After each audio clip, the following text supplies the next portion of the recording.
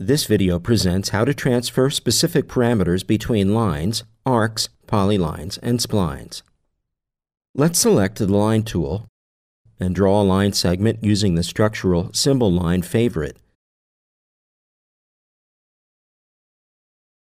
with the double-dashed line type.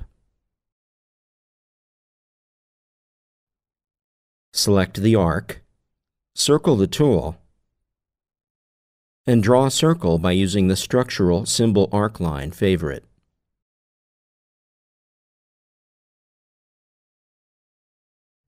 Select the Polyline tool and draw a polyline with the mechanical polyline favorite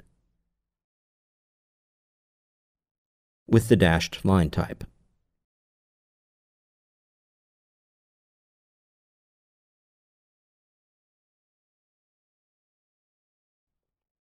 Finally, let's select the Spline tool from the More container and draw a spline with Cut Spline Favorite with the break line type.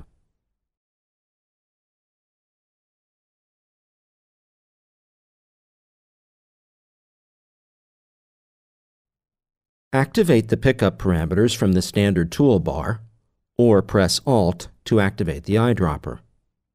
Let's pick up the parameters of the linear shapes that were created. Please note that you can now freely inject parameters between lines, arcs, polylines, and splines. Use Inject Parameters, or press Ctrl plus Alt or Command plus Alt keyboard shortcuts.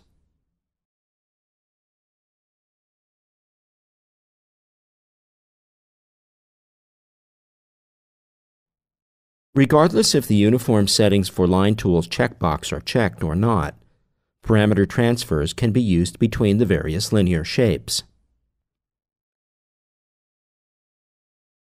If you use the eyedropper when the Uniform Settings for Line Tools checkbox is checked, all default line settings will change according to the pickup.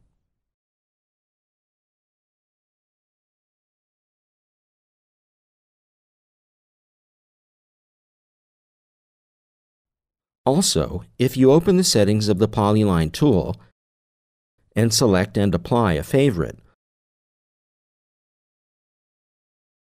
all the line tools will change to these settings if the Uniform Settings for Line Tools checkbox is on.